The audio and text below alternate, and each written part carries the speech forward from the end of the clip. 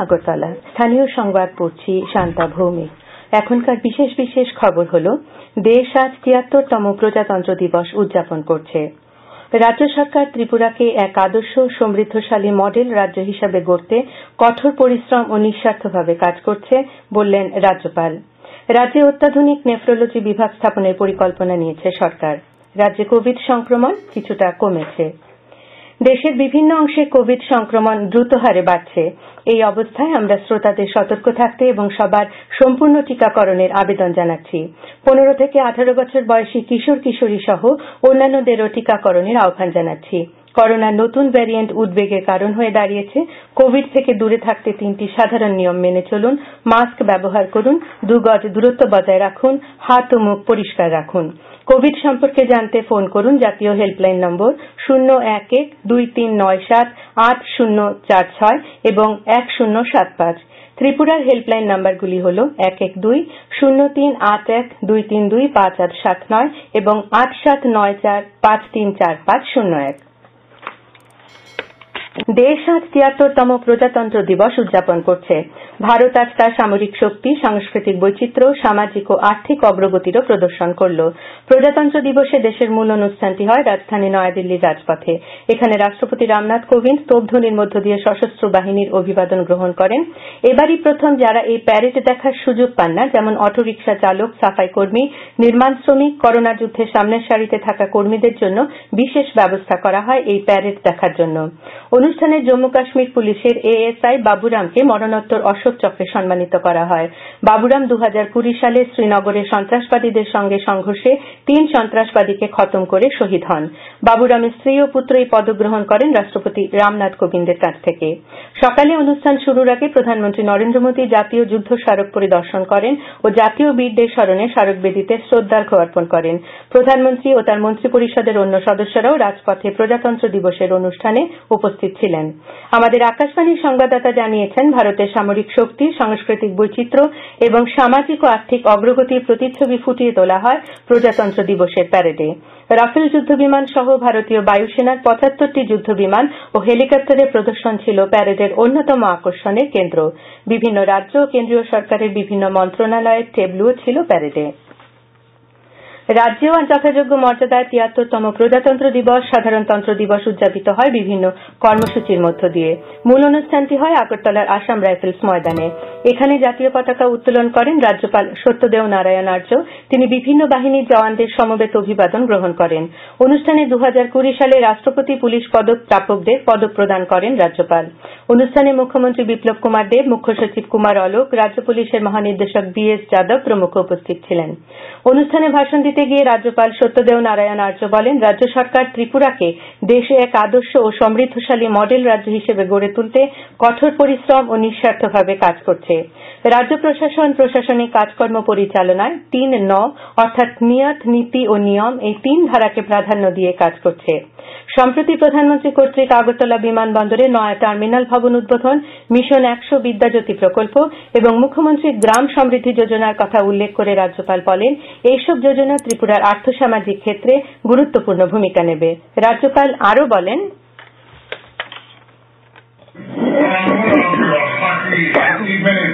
उल्लेखनीय रूप से सुधार हुआ है अब नियंत्रण में है राज्य सरकार ने नशा मुक्त त्रिपुरा मॉडल ड्रग विरोधी अभियान शुरू किया है इस वर्ष स्वतंत्रता की पचहत्तरवीं वर्षगांठ आजादी का अमृत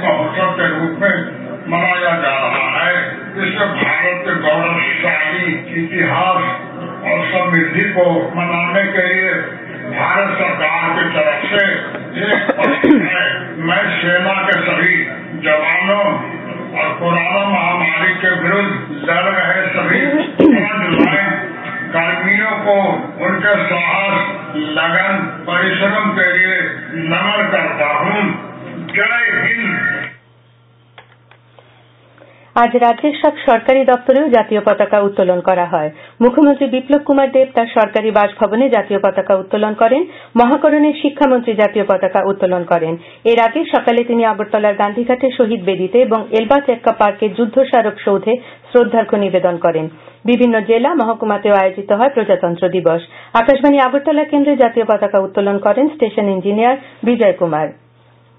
এডিসিতেও আজ প্রজাতন্ত্র দিবস পালন করা হয়। খুমলুং স্টেডিয়ামে জাতীয় পতাকা উত্তোলন ও অভিবাদন গ্রহণ করেন চেয়ারম্যান জগদীশ দেববর্মা। শ্রী দেববর্মা এডিসি জনগণের সাথে সাথে সমগ্র রাজ্যবাসীকে প্রজাতন্ত্র দিবস উপলক্ষে অভিনন্দন জানান। ঊনকোটি জেলা সদর কৈলাসহরেও আজ পালিত হয় প্রজাতন্ত্র দিবস। কৈলাসহর কলেজ স্টেডিয়ামে হয় জেলার মূল অনুষ্ঠান। এখানে আনুষ্ঠানিকভাবে জাতীয় পতাকা উত্তোলন করেন রাজ্যের প্রাণী সম্পদ বিকাশ দপ্তরের মন্ত্রী ভগবান চন্দ্র দাস। তিনি সম্মিলিত বাহিনীর কুচকাওয়াজ পরিদর্শন ও অভিবাদন গ্রহণ করেন। মন্ত্রী তার ভাষণে দেশের স্বাধীনতা সংগ্রামের অমর বীর শহীদদের প্রতি শ্রদ্ধা জানান। তিনি দেশ গঠনে সবাইকে এগিয়ে আসার আহ্বান জানান। প্রজাতন্ত্র দিবস উপলক্ষে কয়েকজন করোনা যোদ্ধাদের সম্মান জানানো হয়। এখানে দেশাত্মবোধক সংগীত, জনজাতি নৃত্য ও যোগা প্রদর্শন অনুষ্ঠিত হয়। বিজেপির উদ্যোগে আজ যথাযোগ্য মর্যাদায় প্রজাতন্ত্র দিবস উদযাপন করা হয়। জাতীয় পতাকা উত্তোলন করেন প্রদেশ বিজেপি সভাপতি ডাক্তার মানিক সাহা। খয়েরপুরস্থিত সেবাধামে জাতীয় পতাকা উত্তোলন করেন রাষ্ট্রীয় স্বয়ংসেবক সংঘের প্রধান মোহন ভাগবত। রাজধানী নেতাজি চৌমুহনী স্থিত প্লে ফোরাম সেন্টারের উদ্যোগেও আজ এক সাফাই অভিযান কর্মসূচি পালন করা হয়। সকালে ক্লাব প্রাঙ্গনে জাতীয় পতাকা উত্তোলন করেন ক্লাব সভাপতি জীবন কৃষ্ণ সাহা। এরপর শুরু হয় সাফাই অভিযান। পরে ক্লাবের পক্ষ থেকে পথ চলতি একশো পঞ্চাশ জন নাগরিকের মধ্যে মাস্ক ও স্যানিটাইজার বিতরণ করা হয় এবং তাদের প্রত্যেকের হাতে পুষ্টিকর খাবারের প্যাকেট তুলে দেওয়া হয় আপনারা খবর শুনছেন আকাশবাণীর আগরতলা কেন্দ্র থেকে রাজ্যেই বিশেষজ্ঞ চিকিৎসক সহ অত্যাধুনিক পরিকাঠামো সম্পন্ন নেফ্রোলজি বিভাগ স্থাপনের পরিকল্পনা নিয়েছে সরকার। আজ বাধারঘাট মন্ডলের উদ্যোগে ডুকলি কমিউনিটি হলে আয়োজিত স্বেচ্ছা রক্তদান শিবিরে বক্তব্য রাখতে গিয়ে একথা বলেন মুখ্যমন্ত্রী বিপ্লব কুমার দেব। মুখ্যমন্ত্রী আরও বলেন, অটল বিহারী বাজপেয়ী আঞ্চলিক ক্যান্সার হাসপাতাল পূর্বাঞ্চলের অন্যতম উন্নত পরিষেবা সম্পন্ন হাসপাতাল হিসেবে গড়ে উঠেছে। সরকারের সময়োপযোগী সঠিক ব্যবস্থাপনার ফলে লাগাম টানা সম্ভব হয়েছে কোভিড সংক্রমণে। অনুষ্ঠানে বক্তব্য রাখতে গিয়ে বিধায়িকা মিমি মজুমদার বলেন, রাজ্য সরকারের উন্নয়নমূলক কর্মযজ্ঞ রাজ্যব্যাপী প্রতিফলিত হচ্ছে। উন্নয়নের নিরিখে প্রায় প্রতিটি ক্ষেত্রেই সফলতা এসছে। অনুষ্ঠানের শুরুতে পণ্ডিত দীনদয়াল উপাধ্যায়, ডাক্তার শ্যামাপ্রসাদ মুখার্জী ও ভারতমাতার প্রতিকৃতিতে পুষ্পার্ঘ্য অর্পণ করে শ্রদ্ধাঞ্জলি নিবেদন করেন মুখ্যমন্ত্রী সহ অন্যান্য অতিথিগণ। এদিনে রক্তদান শিবিরে অন্যান্যদের মধ্যে উপস্থিত ছিলেন টিসিএ সভাপতি ডাক্তার মানিক সাহা, পূর্বদয়া সামাজিক সংস্থার সম্পাদিকা নীতি দে প্রমুখ। মোট একত্রিশ জন এখানে রক্তদান করেন। এরপর মুখ্যমন্ত্রী ডুকলি পঞ্চায়েত সমিতির উদ্যোগে জৈব পদ্ধতিতে চাষ করা কৃষি জমি পরিদর্শন করেন। প্রধানমন্ত্রী নরেন্দ্র মোদী আগামী ত্রিশে জানুয়ারি রবিবার সকাল এগারোটায় আকাশবাণীর মন কি বাত অনুষ্ঠানে দেশ বিদেশের জনগণের সঙ্গে মত বিনিময় করবেন। এটি হবে মন কি বাতের পঁচাশিতম পর্ব। প্রধানমন্ত্রী জনগণকে তাদের সুচিন্তিত চিন্তা ভাবনা মন কি বাতে জানানোর আহ্বান জানিয়েছেন। মাই গভর্নমেন্ট ওপেন ফোরামে এবং নমো অ্যাপে জনগণ তাদের মতামত পাঠাতে পারবেন। এছাড়াও toll free number one eight zero zero one one seven eight zero zero নম্বরে কল করে হিন্দি বা ইংরেজিতে মতামত রেকর্ড করানো যাবে। এছাড়াও ওয়ান নাইন টু টু নম্বরে মিস কল দিলে যে লিঙ্ক পাওয়া যাবে, তাতেও এস এম এস করা যাবে। রাজ্যে কোভিড সংক্রমণ কিছুটা কমেছে। স্বাস্থ্য দপ্তরের কোভিড বুলেটিনে আজ জানানো হয়, পাঁচ হাজার দুশো একষট্টি জনের নমুনা পরীক্ষা করে তিনশো একানব্বই জনের দেহে কোভিড সংক্রমণ ধরা পড়েছে। সংক্রমণ হার কমে হয়েছে সাত দশমিক চার তিন শতাংশ। এর মধ্যে সবচেয়ে বেশি সংক্রমণ পশ্চিম জেলায় একশো আঠাশ জন, আজ সাত হাজার সাতশো সাতাশ জন সক্রিয় বা চিকিৎসাধীন রয়েছেন, পাঁচশো চল্লিশ জন সুস্থ হয়েছেন, আজ আরও দুজনের মৃত্যু হয়েছে। এ নিয়ে আটশো আটাত্তর জনের মৃত্যু হলো। বাধারঘাটস্থিত শ্রী শ্রী লোকশক্তি পীঠাশ্রমে আশ্রম পরিচালন কমিটির উদ্যোগে আজ এক মেগা স্বাস্থ্য শিবির অনুষ্ঠিত হয়। রাজ্যের ছজন প্রখ্যাত চিকিৎসক doctor Shantanu Roy, doctor Rajib Karmakar, doctor Anindya Debnath, doctor Nilotpal Bhowmik, doctor Sushanta Roy এবং ডাক্তার অর্চিষ্মান ভট্টাচার্য রোগীদের স্বাস্থ্য পরীক্ষা করেন এবং রোগ সম্পর্কিত বিভিন্ন বিষয়ে পরামর্শ দেন। শিবিরের উদ্বোধন করেন আশ্রমের অধ্যক্ষ সাধক ত্রিকালানন্দ মহারাজ। শিবিরে মোট সাতষট্টি জন রোগী পরিষেবা গ্রহণ করেন। আগরতলা উদয়পুর সড়কের বিশ্রামগঞ্জ এলাকায় আজ দুপুরে এক পথ দুর্ঘটনায় শান্তি চাকমা নামে এক ব্যক্তির মৃত্যু হয়। পুলিশ সূত্রে জানা যায়, বিশ্রামগঞ্জ থেকে আগরতলাগামী একটি বোলেরো গাড়ি বিপরীত দিক থেকে আসা একটি বাইককে ধাক্কা দিয়ে পালিয়ে যায়। এতে বাইক চালকের ঘটনাস্থলেই মৃত্যু হয়। আবহাওয়ার খবর। আগামী চব্বিশ ঘন্টায় রাজ্যের সব জেলায় বিক্ষিপ্তভাবে হালকা বৃষ্টিপাতের সতর্কতা জারি করেছে আবহাওয়া দপ্তর। তাপমাত্রা সর্বোচ্চ চব্বিশ ডিগ্রি এবং সর্বনিম্ন চোদ্দ ডিগ্রি সেলসিয়াস থাকবে।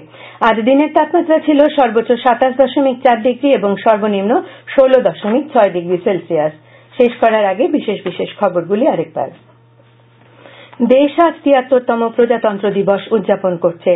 রাজ্য সরকার ত্রিপুরাকে এক আদর্শ ও সমৃদ্ধশালী মডেল রাজ্য হিসেবে গড়তে কঠোর পরিশ্রম ও নিঃস্বার্থভাবে কাজ করছে, বলেছেন রাজ্যপাল।